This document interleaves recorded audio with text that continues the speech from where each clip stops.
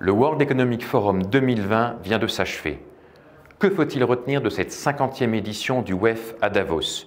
Les invités prestigieux comme Donald Trump, Greta Thunberg ou Angela Merkel qui faisaient ses adieux en tant que chancelière Non, nous allons plutôt nous focaliser sur une mutation essentielle du WEF. Lorsque le jeune professeur d'économie Klaus Schwab fondait le symposium de management de Davos au début des années 70, il imaginait ce rendez-vous comme une plateforme de dialogue, d'échange, de débat. Face aux critiques qui ont émergé, rendez-vous de puissants, club fermé, le WEF s'est ouvert au fil des années à intégrer la société civile, les chercheurs, les ONG. Aujourd'hui, le WEF n'est plus ce club de riches, mais intègre le dialogue avec la société civile. Mais en 2020, le dialogue n'est plus suffisant. Face aux mouvements sociaux violents, aux prises de conscience comme MeToo, voici deux ans, ou encore aux grèves pour le climat, il est temps d'agir. C'est ce qu'a compris Klaus Schwab, ce qu'a compris le WEF. Et c'est pour ça qu'à l'occasion de cette 50e édition, ils ont décidé de passer du dialogue aux engagements, en créant des plateformes d'engagement qui réunissent les partenaires publics et privés, les particuliers, les entreprises, les gouvernements.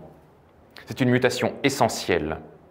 Le WEF n'avait pas le choix face à la pression, n'avait pas le choix face aux enjeux, mais c'est une mutation dangereuse. Si jamais les engagements qui sont pris sur ces plateformes ne sont pas tenus, l'utilité même du WEF sera à nouveau questionnée. Si la génération des jeunes activistes pour le climat que Klaus Schwab a mis en avant lors de cette 50e édition est déçue, quand eux seront au pouvoir, ils n'accorderont plus la même importance à Davos.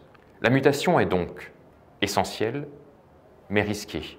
Mais face aux enjeux, notamment climatiques, qui étaient au cœur de cette 50e édition, l'OF n'a plus le choix. Aujourd'hui, on ne parle plus de croissance, on ne parle plus de politique monétaire, on parle d'inclusion, de lutte contre le changement climatique et pour la biodiversité. Face aux sceptiques, c'est uniquement le temps qui donnera raison ou tort à Klaus Schwab. Le temps, c'est ce qui manque face aux défis climatiques, face aux enjeux liés à la biodiversité, face à l'inclusion, à l'égalité homme-femme. Il faut agir vite. C'est donc dès les prochaines éditions que l'on verra si les engagements pris cette année sont tenus.